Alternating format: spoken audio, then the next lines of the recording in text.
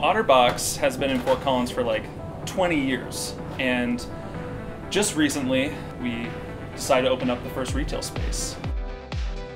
We thought a lot of people knew about the brand, knew about cell phone cases that did so well, but we have a lot of exciting things that we're doing as a company. Our whole outdoor line that we just launched last year. Um, we have our coolers, our tumblers, we have custom printing, so you can pop a photo on a case. The products that we have range, of course, from all the cases, going from the most protective Pursuit series that we just launched, to our very popular Defender case, to our Symmetry, our Strata. The outdoor line really made sense for the shop when we opened it up because a lot of big products, big coolers, things that we haven't really done ever before. You come on in the shop, just walk around, ask us questions, hope to see you then.